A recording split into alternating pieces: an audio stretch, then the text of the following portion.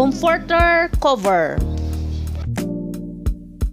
Ito yung papalitan natin guys na comforter nasa loob niyan.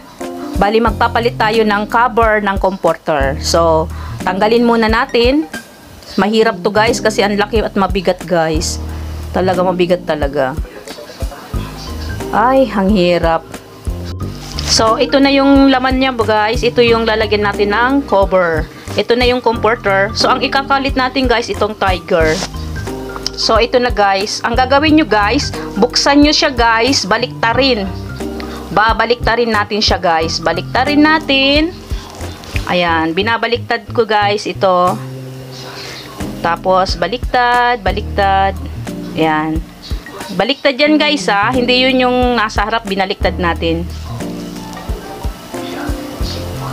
So, ayan. Ayusin natin yung pagkabaliktad. Ayan. Tapos guys, ang gagawin natin guys, ipaplat, pag nabaliktad na natin siya, ipaplat natin siya sa kama or sa bed. Para maayos natin yung ano. Baliktad yan na, hindi yan nasa harapan na. Tapos yung guys, yung may zipper guys, doon sa may dulo guys. Doon sa may dulo. Yan, yung zipper ah. Yung close na close dito sa may harapan natin, dito sa ano. Yan, I, ipantay lang natin guys yung pag pag plat ng i-cover natin sa ano, sa comforter. Ayan, plat. Ipa-plat natin ng maayos. So, pag na-plat na natin guys ng maayos, yung comforter guys, ilalagay natin sa ibabaw. Ayan, kung ano yung size ng comforter na i-cover, yun din yung size ng comforter na ilalagay natin kung papaano yung sukat niya. Isusukat natin siya sa sa i-cover natin. Ayan. Ipapantay natin kung ano yung sukat. Dapat itama natin yung sukat niya doon sa cover. So, ganyan guys. I-plat-plat lang natin, ayusin. Ayan. Kapag na-plat na natin guys, pag naayos na natin sa dulo, yung apat na dulo, So, ang gagawin natin guys, yun guys, kung halimbawa guys, may panali yung guys, itali natin sa dulo, or kung may pang clip tayo, i-clip natin siya, para hindi siya guys maano, yung, para hindi siya na, natatanggal or na something na nagugusot sa loob. So, gagawin natin ganyan. So, ngayon guys, pag na-plat na natin, ang gagawin natin, titiklopin natin siya. Ayan, iikutin natin siya. Ayan, paikot-ikot hanggang makarating doon sa dulo guys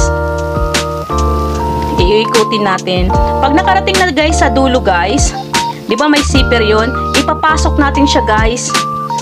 Sa dulo, ipapasok natin. So, ganyan guys. Yan.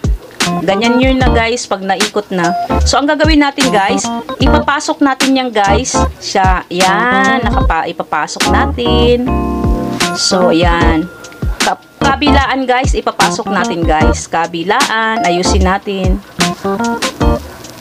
Ayan. Kabilaan lang siya guys.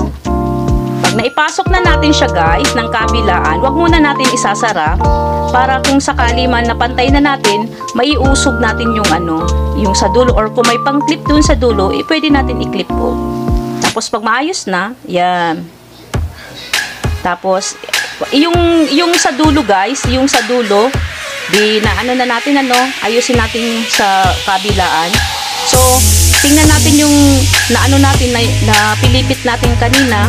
So, kukunin na natin siya, ibubukas na natin siya guys. Ganyan. So, ganyan. Ibubukas na natin siya. Tapos, yan, bagsak-bagsak para makaano na yan. Ganyan guys, ang pagpalit ng guys, ganyan lang. I-plak-plak-plak-plak, i-plak-plak-plak lang natin para maano, maayos sa loob. So, ayan, hiwa-hiwa. Pero pag na-okay na siya guys, ayos na yung sa loob, isara na natin siya. Ayan, ayusin natin yung kagila, kagilaan or kung may pang-clip siya dun sa loob, i-clip natin, saka natin isara. So, ganyan lang guys, kabilis, kadali ang magpalit ng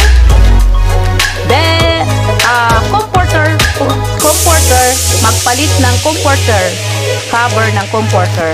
Yun, guys. Ganyan, guys. Kabilis, guys. So, ito na siya, guys. Napalitan na natin ng cover. Ayan na. Ganyan kabilis. Ang bilis, di ba?